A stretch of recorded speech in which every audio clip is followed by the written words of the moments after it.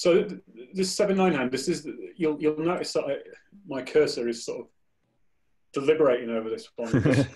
I have to do like. Would you say this? Would you say this is a shove? This is probably borderline profitable shove, but I wouldn't take it because a- anytime I'm thinking I'm shoving, I'm, I'm asking myself like, what's the upside versus the downside? Now the upside here is we win 2.3 bigs and we go from like 31.3 to 33.6, which is nice, Mm. but you know, not brilliant. Uh, the downside is we're going to be in really bad shape if we're called. Uh, I think this is just a great spot to limp. Right. Okay. It- it- Uh, like, that's, that's something I don't even do in satellites anymore, really. Um, Yeah, I pretty much limp. I limp a super wide range. So if I had aces here, I would limp as well. Um, yeah, I limp my entire range, and because I do that, then I get to play hands like this, uh, Mm. which I don't think are great shoves. Um, and actually, the limp stab uh, play is really good in satellites because Yes, I have started to notice that. Yeah. yeah, people like the ice. Like most of the time, they're checking because they don't have a hand that's strong enough to raise. Uh, if they're the kind of guy who, who who always pounces on limps, well, then you're going to be protected by the stronger hands in your range. That's fine too.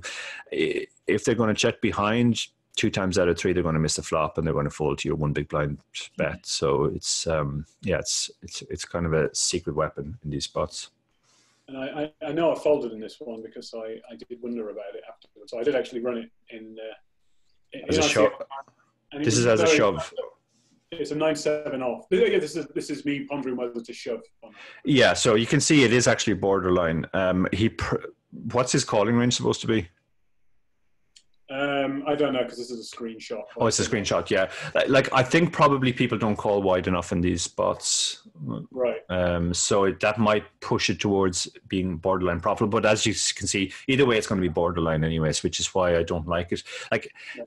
Even if this was plus 0.05, I wouldn't take it because shoving effectively 22 big blinds to win one twentieth of a big blind um, is not great satellite strategy. In a bigger buy-in satellite, would you ever lean towards shoving for kind of metagame purposes? To if if if this was one of the best satellite players in the world, I would shove uh, for sure because I'd know they they would they would know how tight their calling range has to be, um, and uh, I think they would actually overfold in those spots for sure. Um, uh, yeah, so I, I did let it go because I was. Uh, but uh, if you ever see me uh, do this on a screen, it's because I'm thinking about it and I want to memorize. Like, the, the exact same situation here. Like I know my. I, I know my sort of 20 big line shoving ranges quite well, and this was another really, really close one for me. Yeah. Like, obviously, we've um, well, we can pick up more of a pot than in the uh, the previous example. But again, what's what's your line with this hand, and what's your shoving range with this hand? Yeah, I don't shove this hand for sure. Uh, this, I mean, this is a hand I want to play. So the question is, how do I play it? I don't think it works great as a shove because even though we can win two point three, it's still in the context of the tournament. Losing twenty five big blinds or twenty four point four big blinds is, if the big blind wakes up with something, is pretty disastrous. Winning two point three bigs is nice, but not major. Um, so I would rule out the shove we so that that that leaves either limp or raise. Um, this is actually a pretty good hand to limp uh, because Yeah. it flop it flops very well, um, and it, it and and it doesn't.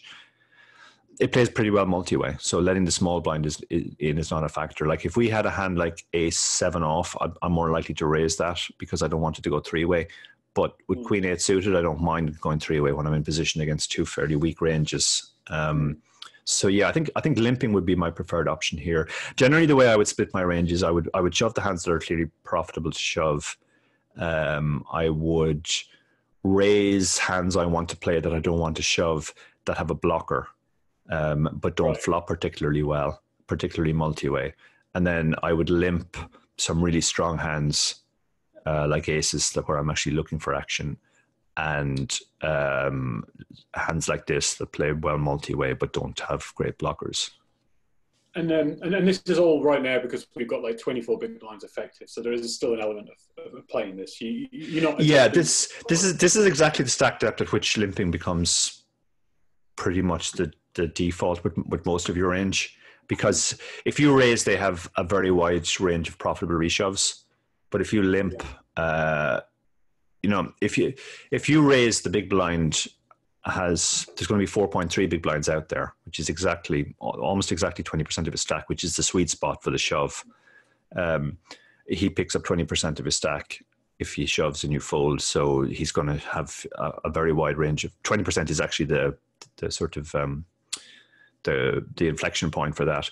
But if you limp, there's only going to be 3.3 big blinds out there, so he's only going to be picking up about 15%. So suddenly his shoving range gets a lot less. Uh, gets a lot tighter, has to get a lot tighter. And he has some tricky decisions with, with lots of his range where he has a hand which he doesn't want to shove, but but it's a, it's stronger than your limping range. So he thinks maybe he should raise it for uh, for value. Um, and then a hand like Queen Eight suited plays fine as a as a limp call um, because yeah. you're going to be in position. Just uh, just because I just to kind of put the point once again, Queen Eight suited was right on the line. Literally right on the line. Yeah, like I don't take those close spots when they're show when they're shoves because you're shoving a lot to to, to win very little. Um, yeah. Like even again, even if that was like plus zero point zero five, I wouldn't take it because you're shoving twenty four bigs effectively to win one twentieth of a big. Queen Jack suited.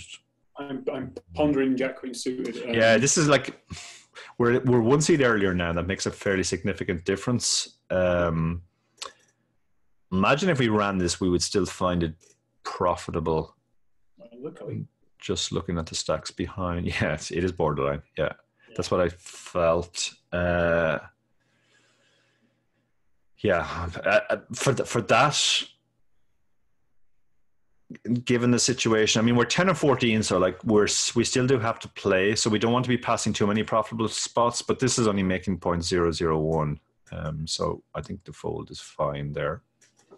Do, do, do you, like, I, I, one of the reason why I don't, I, I shove or I fold there, I, I don't consider playing it is because I, I don't think I'm going to know particularly as a recreational player myself, I'm not sure how I'm going to play that post flop. I mean, would you, um, the great Dara O'Kearney. Uh, would you ever raise there? Uh, oh yeah, for sure, and I, and I would limp sometimes as well, just to mix it up. Um, yeah.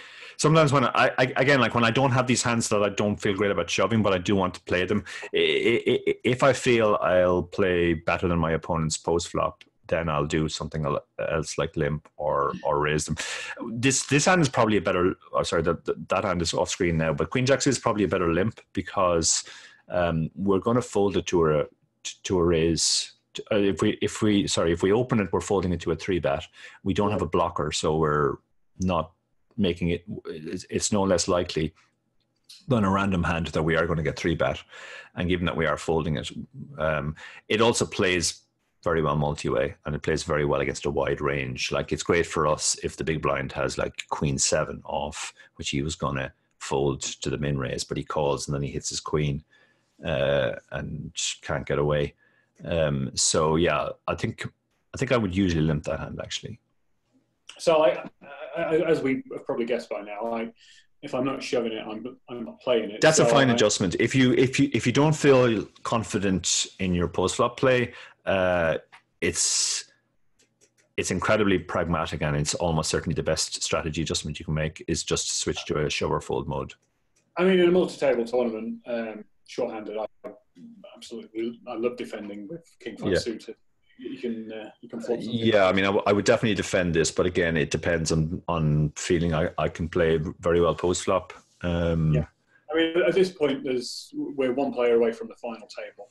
Um, I don't particularly want to call and then you know hit a flush draw and then think about having to call again on the yeah that's the, this is the problem we are going to have to uh, yeah and, and, in fact we're at, we're at, we're at the spot now where ICM is huge and because he covers us uh, that's going to affect us post flop as well. Um, this is a spot now where we should we should be stalling already incidentally since since the final table bubble. Yeah. The quicker we get to final table the better for us with our stack. So, so just just out of interest I insta I insta folded the ace four or five there.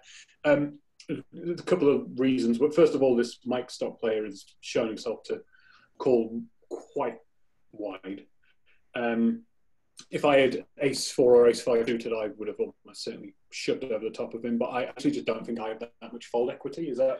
Yeah, if, if uh, he's, he's open to three and a half x, so we probably have no fold equity. Uh, if often guys raise the 3.5x with a hand just to make it clear that they're not folding.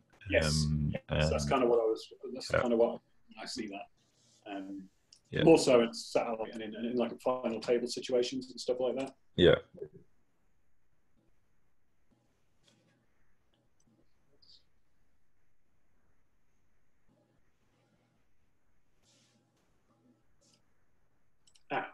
I, uh, I actually now this is uh, an interesting one. I uh, I'm quite embarrassed because I don't know how to adjust ICA, ICMizer to change the villain's calling range. But I, this was a hand where I I queen ten off.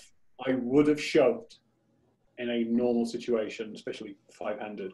But I folded just because I felt like this uh, this guy was looking me up too wide. Yeah, I, am actually looking at the shoving range. If ICM isn't a factor, and Queen ten off is just is just below the line.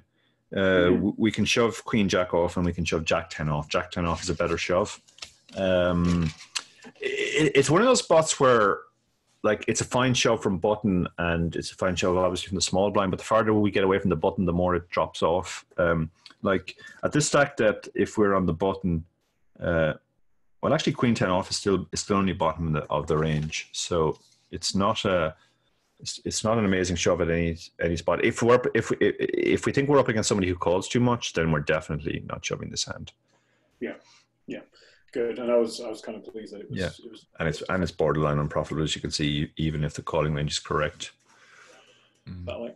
And then obviously you've never actually watched me play a satellite before, so my only question. Um, now that you know the book was about six months ago that we released it is like like do you have any um, uh, useful critiques of my game going forward. Like i clearly i was playing like a shovel fold bot for the most part which i've i've probably overly embraced as a solid strategy. I suspect i need to put a little bit more of creativity in my game yeah i think that's a good that's a good adjustment if you are if you feel outskilled after the flop, now I don't think you would necessarily be outskilled from what I've seen of these players. Um,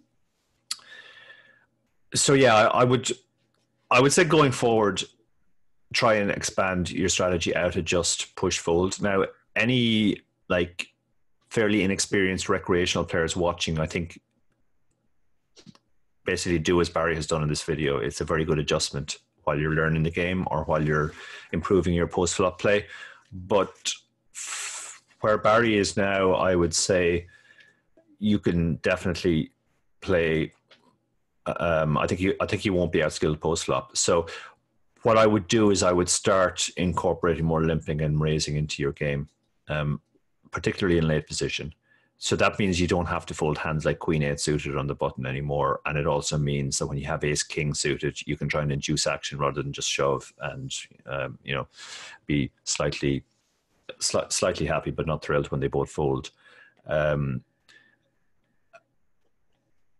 when you make that adjustment, often you'll find in the short term that your results will actually get worse because, first of all, you're introducing an, an additional element of variance, and secondly, it'll take you a while to get used to dealing, you know, to knowing what to do when you've limped queen eight suited on the button and the flop comes ace eight deuce or the mm. flop comes king queen four, uh, or you flop a flush draw or something like that. So it'll take a while for your post flop game to kind of improve uh, and work out, work, come up to the standard that it needs to be.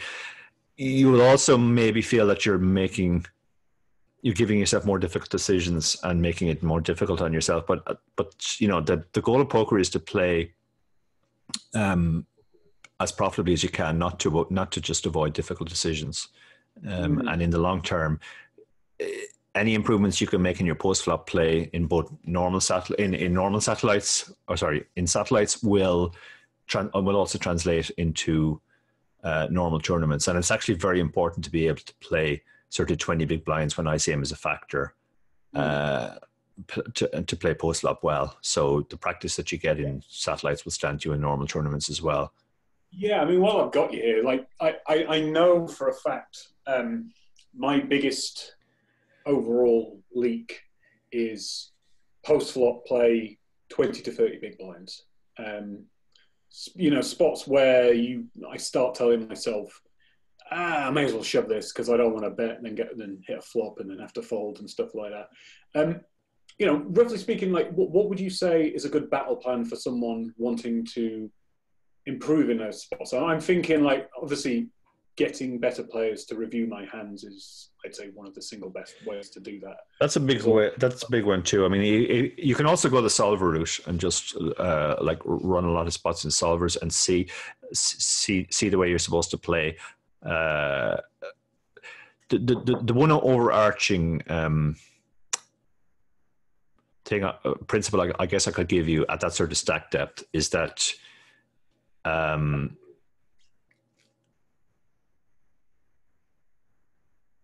equity equity denial becomes more important. It's more, it's more important to win the pot. So you know when you flop top pair, when you when you're 200 big blinds deep, you're never going to want to get it in with like a weakish top pair. Like let's say you've raised queen eight suited on the button and the flop has come queen 10 4. Yeah. But but but in a wide range versus wide range situation, you can very happily get that in on the flop. Uh, mm. Similarly, if you've if you've defended that type of hand and you flopped a pair, you just check raise all in or check raise commit. Um, that's that's going to be fine. So, in a sense, your your um, decisions become easier because it, it, becomes more important to, to deny equity to opponents. So, mm. and you know, if you're if you're beaten, you're going bust anyway. Uh, yeah. Because you know, if if you flop a weak top pair out of position, if the guy has you beaten, he's betting all three streets and getting you in by the river. Uh, mm. And at the same time, you can't be folding top pair in the heads up pot. So, uh, yeah, the more practice you get, the more you'll start to realize these principles. I mean, like a really good rule of thumb, which I can't remember who taught me this early on, but um, in a wide range situation like blind versus blind or blind versus button, top pair is good enough to, to go all three streets with, middle pair is good enough to go two streets with, and bottom pair is good enough to usually just go one street with it. Even if you even if you just stick to that as a general principle, I think um, mm. that will. Uh, like it's it doesn't apply in all cases. I mean, I'm not I'm not saying that like eight deuce on a 10 9 8 board is is is is always a call or 10 deuce is good enough to go three streets on that board. But as a general principle on like fairly normal boards, that's that's a good way to think about it. I like that heuristic as well. No, no, no. Of course, you could if you went if you got top pair on the first street, you, you bet and get called, and then the turn brings something that makes your hand not top pair anymore. You know, you can potentially adjust and just yeah, you can always adjust, obviously. Uh, but but again, like because equity now becomes important. Like when we're when we're super deep, we might not want to stack off with ace ten on a ten high board that has lots of draws on it, but on a but when we're shallow, we just check raise and try and get it in now um, uh, and then we don't have to worry about what happens if a queen or a king comes uh, on the next street. Um, um, so yeah, it's just play, play your made hands more aggressively um, when you're when you're relatively shallow post flop. Okay. Well, uh, maybe the next video will be uh, why the hell did you limp that Barry as the title and uh, go forward. But um, no, this is.